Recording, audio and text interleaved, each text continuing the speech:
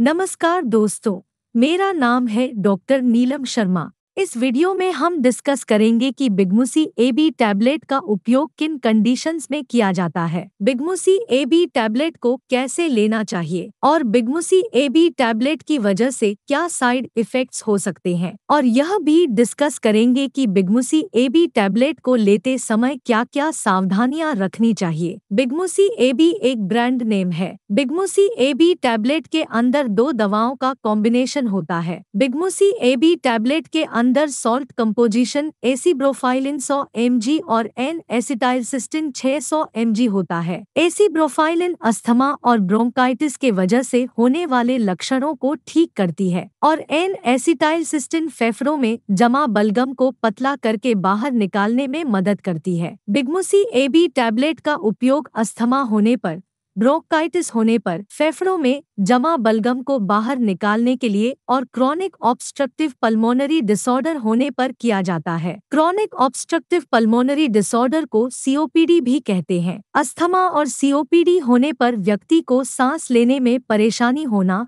सांस फूलना, सांस लेते समय सीटी जैसी आवाज़ आना छाती में जकड़न और खांसी होना आदि लक्षण अस्थमा और सीओपीडी होने पर हो सकते हैं। बिगमुसी ए बी टैबलेट वायुमारक की मांसपेशियों को रिलैक्स करके और फेफड़ों के सांस लेने के रास्ते को चौड़ा करती है। बिगमुसी ए बी टैबलेट को लेने के बाद फेफड़ों के वायुमारक चौड़े हो जाते हैं, जिसकी वजह से अस्थमा और सीओपीडी से पीड़ित व्यक्तियों को सांस लेने में आसानी हो जाती है। बिगमुसी ए बी टैबलेट अस्थमा और सीओपीडी होने पर सांस फूल फूलना और सांस लेने में परेशानी होना आदि लक्षणों को ठीक करती है और इन लक्षणों को रोकने में भी मदद करती है। साइड इफेक्ट्स की बात करें तो वैसे तो ज़्यादातर व्यक्तियों में बिगमुसी ए बी टैबलेट की वजह से कोई साइड इफेक्ट्स नहीं होते हैं, लेकिन कुछ परसेंट व्यक्तियों में बिगमुसी ए बी टैबलेट की वजह से कुछ सामान्य साइड इफेक्ट्स हो सकते हैं, जैसे पेट में दर्द,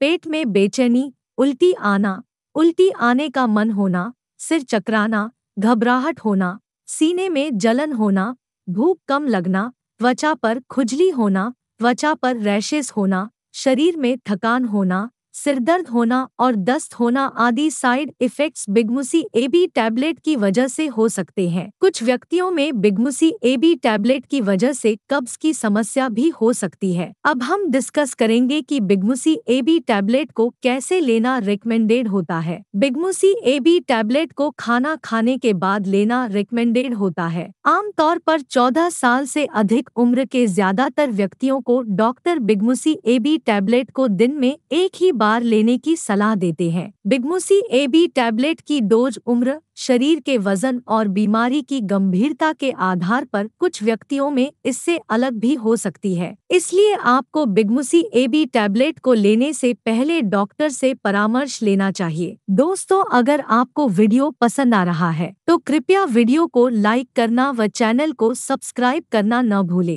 अब हम डिस्कस करेंगे कि बिगमुसी ए बी टैबलेट को लेते समय क्या क्या सावधानियाँ रखनी चाहिए। चौदह साल से कम उम्र के बच्चों को बिगमुसी ए बी टैबलेट को देना रिकमेंडेड नहीं है। अस्थमा और सीओपीडी को अच्छी तरह से नियंत्रण में रखने के लिए आपको धूम्रपान नहीं करना चाहिए। और धूल, पोल्यूशन, खराब मौसम और फैक्ट्री से निकलने वाले धुएँ व वाहनों से निकलने वाले धुएँ के संपर्क में आने से बचना चाहिए। इसके अलावा ज़्यादा ठंडे पानी का सेवन करने से बचना चाहिए। ब्लड प्रेशर कम होने पर, दिल का दौरा पड़ने पर, दिल की धड़कन अनियमित होने पर लिवर और किडनी की कोई गंभीर बीमारी होने पर बिगमुसी एबी टैबलेट को लेना रेकमेंडेड नहीं होता है। इसलिए इन कंडीशंस में डॉक्टर की सलाह के बिना बिगमुसी एबी टैबलेट को नहीं लेना चाहिए। अगर किसी व्यक्ति को एम्ब्रोक्सोल थियोफाइलिन बिगमुसी ए बी टैबलेट या इसके किसी भी इंग्रेडिएंट से एलर्जी है तो ऐसे व्यक्तियों को बिगमुसी ए बी टैबलेट का सेवन नहीं करना चाहिए, और ऐसे व्यक्तियों को इसके बारे में डॉक्टर को भी बताना चाहिए। प्रेग्नेंट महिलाओं और स्तनपान करा रही महिलाओं के लिए बिगमुसी ए बी टैबलेट का सेवन करना रिकमेंडेड नहीं है, इसलिए प्रेग्नेंट महिलाओं और स्तनपान करा रही महिलाओं को बिगमुसी ए बी टैबलेट को डॉक्टर की सलाह के बिना नहीं लेना चाहिए। वीडियो को देखने के लिए आपका धन्यवाद। अगर आपको वीडियो पसंद आया तो प्लीज़ वीडियो को लाइक कर देना, चैनल को सब्सक्राइब कर लेना और अगर आपका बिगमुसी ए बी टैबलेट से संबंधित कोई प्रश्न है